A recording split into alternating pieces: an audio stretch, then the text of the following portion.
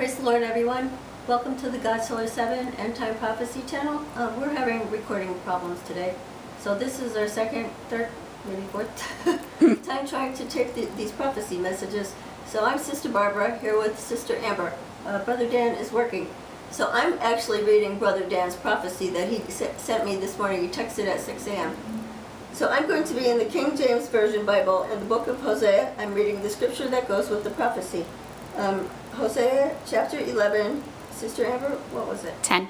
I'm sorry, chapter 10. No, 11, verse 10. Oh, chapter 11, verse 10. We'll get it. they shall walk after the Lord.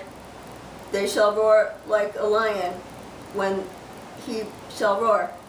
Then the children shall tremble from the west. That's as far as I'm going to go on that. It's about the lion. We understand that.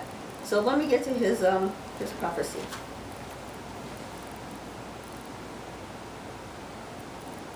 I am the God of Abraham, Isaac, and Jacob.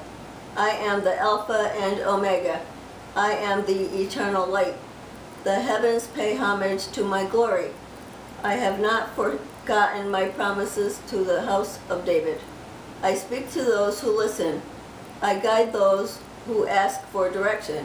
I lift up those who are humble. My time draws near. I came like a lamb but shall return as a lion.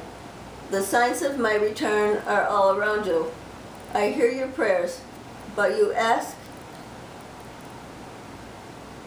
I hear your prayers, but you ask, but you, but do you give? Do you help your neighbor? Do you offer to me the first fruits of your labor? It is I who have given you your bounty. Have you forgotten this? Just as I gave, so I can take away. My judgment comes quickly. Will you be found worthy? So these two prophecies are very similar. Actually, I was getting this prophecy about the lion and the lamb, and Brother Dan got it because I was under spiritual attack and I couldn't get it. If you're on my personal Facebook page, you saw me posting all the scriptures to it, but I couldn't get it because of the spiritual attack on me. So once again, repent and be baptized in the name of Jesus. You will receive the gift of the Holy Spirit. You can read about that in Acts 2.38. And I'm announcing the coming of the glorious kingdom and his majesty. I started that on September 24th, 2015. I continue on with that prophecy time frame until April 6th, 2019. And we don't know what's going to happen. It's rapidly approaching. So once again, God bless you all, and thank you for everything you do to us for us.